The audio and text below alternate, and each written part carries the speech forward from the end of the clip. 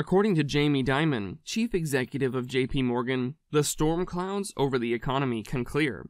Do not, however, become overexcited. He still believes that we're in uncharted ground. Even the tiniest glimmer of optimism may inspire investors in a market full of dread and gloom. This was well shown by JP Morgan CEO Jamie Dimon, when the bank's better than anticipated financial outlook pushed the stock up 6.2% and the S&P 500 up 1.9%. He summarized his opinion by saying, "Strong economy, big storm clouds." According to Dimon, "I'm calling it storm clouds because they're storm clouds. They may dissipate. If it was a hurricane, I would tell you that, or a tsunami like we had in 07 or 08." Hold on. In this video, we will take you through why a 2022 recession would be particularly special. Credit driven recession versus inflation driven downturns. The great financial crisis of 2007 2008 and the dot com collapse of 2000 2001 are two recent recessions that were credit driven, in addition to the pandemic caused recession of 2020. In both instances, excesses caused by debt accumulated in the housing and internet systems, and it ended up taking the economy over 10 years to digest them. On the other hand, today's recession is more prone to be sparked by excess liquidity rather than debt. In this instance, extremely high levels of fiscal monetary stimulus associated to COVID pushed money into consumers and investment sectors, causing inflation and fueling financial asset speculation. The root is stronger. In addition to historical patterns, a number of economic indicators suggest that, should a recession occur, it will be less painful. The car and housing sectors are both robust, while inventories are low and likely to drop much lower with increasing borrowing rates. Housing prices have been high and resistant. Due to the scarcity of semiconductors, manufacturing rates for automobiles are lower than at earlier peaks. Order backlogs may maintain industrial activity unusually high for a recession while supply networks clear. The labor market is still active, in addition to being tight as measured by rates of unemployment. The labor market is also displaying record high ratios of fresh job vacancies to prospective employees. This shows that businesses would decide to lower their open job advertising first, possibly postponing the impact on unemployment rather than firing existing employees. Households, businesses, and the financial sector all have their balance sheets in the healthiest condition in decades. Furthermore, considering current demands for energy infrastructure, automation, and national security that are not primarily related to the business cycle or the Fed's activities, drivers for corporate capital investment remain robust. Corporate income could be more reliable, as more businesses develop subscription and fee based business models, the profit share attributable to recurring revenue sources is increasing, as shown in the composition of the stock index nowadays. In essence, experts are optimistic about the fundamentals of the economy and think they can act as a stabilizing force in the wake of a downturn. Investors should exercise patience and think about adopting tax efficient rebalancing to offset their principal overweight and underweight positions, as well as by recovering their losses, and aim for the greatest possible asset class diversity. So, does this mean there won't be a recession? That's the big question. 2022. The core symptoms of a recession have not yet materialized. Recessions are defined as a considerable decrease in economic activity that is distributed across the economy and should last more than just a few months, according to the National Bureau of Economic Research.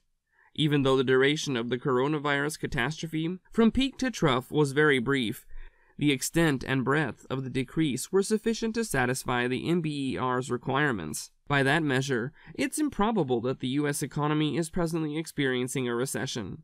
Economic production did increase throughout the first three months of 2022 at an annualized rate of 1.4%, but that was nothing compared to the 31.2% fall that occurred through the second quarter of 2020. The main causes of the downturn, aside from the general slowdown in domestic economic activity, were also slowdowns in net exporting and inventory accumulation. Higher imports during a period when Americans are spending a ton of money were a major contributor to the decline in trade. Yet as firms' hoarding spiked greater in the previous quarter, the drop in inventory was more of a return to the regular pattern. The economy probably would have had some other quarter of fantastic growth if those two things hadn't had an impact on overall GDP. Consumer spending, which accounts for almost two thirds of GDP, increased at an annual rate of 2.7%, while corporate investment surged at 9.2% rate, indicating that businesses continue to expect bright futures. More good news? The irresistible drive to recruit persists. According to Andrew Flowers, a labor economist at Appcast and research director at Recruitonomics, it is still a market job for job seekers and that companies have an insatiable appetite to hire. According to him, as of June, employers' intentions to hire until the end of the year have not slowed down, according to Appcast, a company that assists companies with recruitment efforts. According to the data from the Bureau of Labor Statistics, there are currently 61% more openings than there were before COVID. Flowers anticipates that despite recent increases in inflation, demand for leisure and hospitality employment will stay high as long as folks seek to buy, attend events, cruise, and eat out at restaurants. However, other occupations such as those in manufacturing and construction may be particularly susceptible to the increase in interest rates and see a decline in job opportunities. Flowers advises those who are now aware of possibilities in their area to strike while the iron is hot.